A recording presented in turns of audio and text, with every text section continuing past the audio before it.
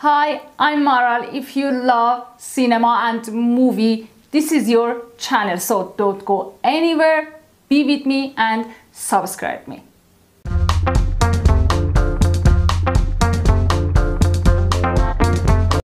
Hi guys, I want to talk about Poor Things. So thanks to be with me and thanks to subscribe me. Poor Things is a 2023 science fantasy black comedy film directed by Yorgos Lanthimos. Yeah, a good director. And written by Tony McNamara. It is based on the uh, 1992 novel by Alasdair Gray. The film stars Emma Stone, Mark Ruffalo, Willem Dafoe, Ramy Youssef, Christopher Abbott.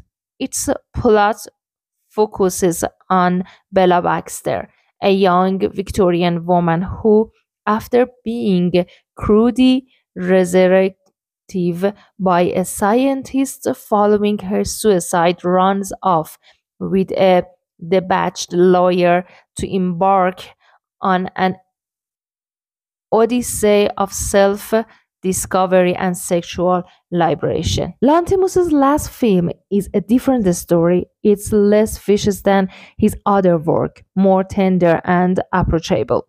Okay, did you see his other work, his other films, such as The Lobster or The Favorite or The Dogtooth? I can't even think about The Dogtooth, but it's so beautiful and it's hard to see. Okay, Poor Things.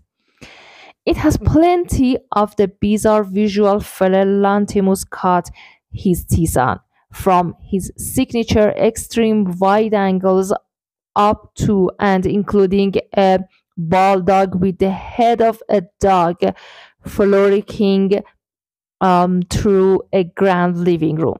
Yet Poor Things is joyous in its weirdness, joyous in its exploration and a celebration of its strange, strange world. This movie is incredibly fun to watch. Mostly that's because of Emma Stone reuniting here with Lanthimos after she was Oscar nominated for her work in The Favorite. In Poor Things, Stone is doing some of the best work of her career as Bella Baxter, a grown woman with the brain of an infant. This is a very physical, very grounded performance. Stone has a terrific fuck, just a touch of Frankenstein jerkiness showing as Bella tries to control limbs she isn't used to. Head always on a swivel as she tries to take in more and more of the ever fascinating brand new world. Faced with something she doesn't care for, she glares her giant eyes up from under dyed black beetled browns and then usually punches it. Bella lives with her guardian, Dr. Godwin Baxter. She calls him God.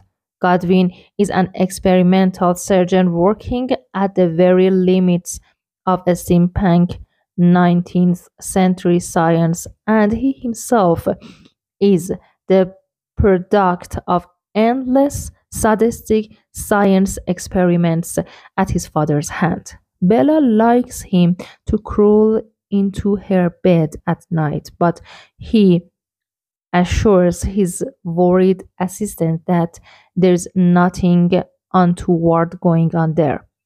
For one thing, he's impotent after his father's experiments. For another thing, he considers Bella to be his daughter. Okay, guys, I think this movie is one of the best and most different movies of Lanthimos. Although we have seen his dark comedy movie before, don't forget the favorite. What do you think about the movie? Can you tell me? I want to know that. Thanks to be with me and don't forget subscribe me.